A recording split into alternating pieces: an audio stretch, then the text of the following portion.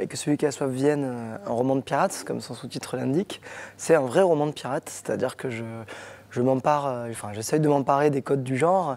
Donc euh, il y a tous les passages obligés, il y a des bagarres, il y a des abordages, il y a des sabres, des épées, euh, des canons, il y a du rhum, des, des, prisonniers qui sont poussés au requin après avoir marché sur une planche.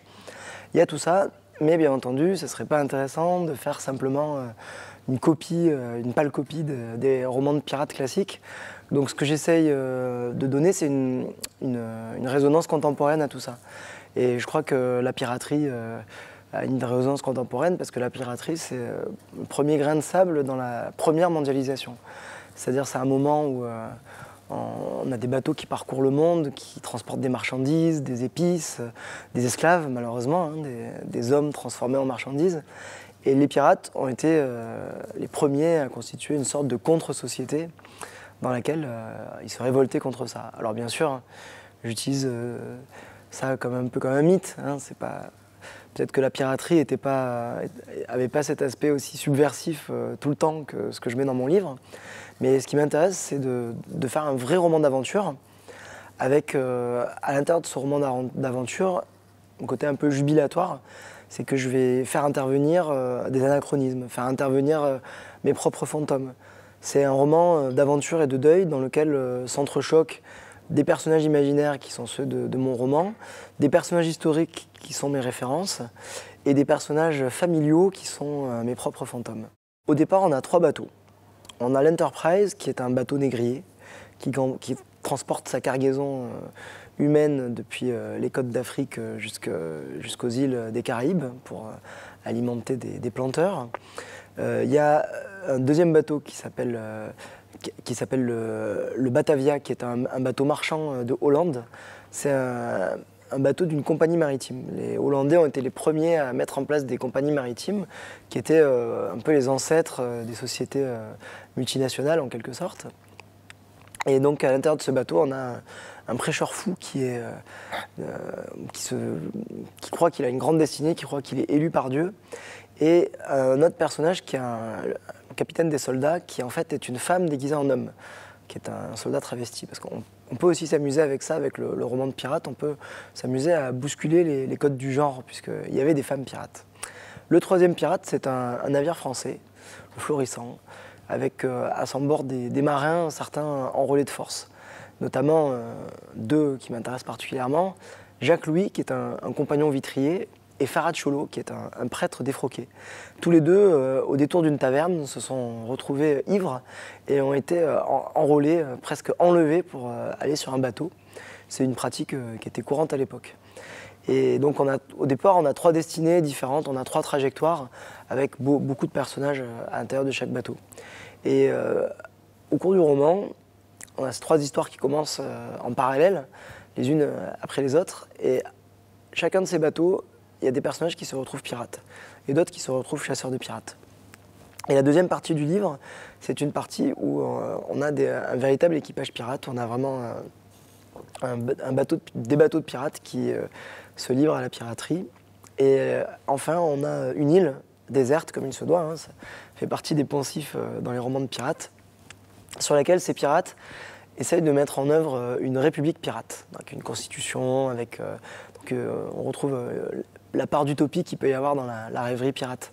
Et euh, ce qui m'intéressait dans cette partie-là, c'est euh, la question euh, de savoir l'insularité, c'est l'utopie aussi. C'est-à-dire qu'il il y a un philosophe corse que j'aime bien qui s'appelle Jean Toussaint de Santi qui disait, en parlant de la Corse, il disait la mer, c'est ce qui enferme et ce qui ouvre. Donc c'est pareil, pour la Corse et pour mon île déserte de pirates, c'est pareil avec l'utopie.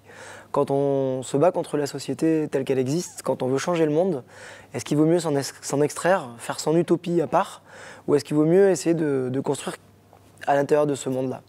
Et c'est un débat qui va parcourir euh, ma République pirate. Et euh, voilà. Alors bien entendu, tout ça, ça peut paraître euh, assez engagé et assez assez euh, partisan, mais ce qui est intéressant, c'est que quand on fait de la littérature, c'est que tous ces, idéaux, tout cet, aspect utopique, il s'incarne dans des personnages, et donc forcément, dès qu'il s'incarne, il devient plus contradictoire et plus compliqué que quand c'est simplement dans la théorie.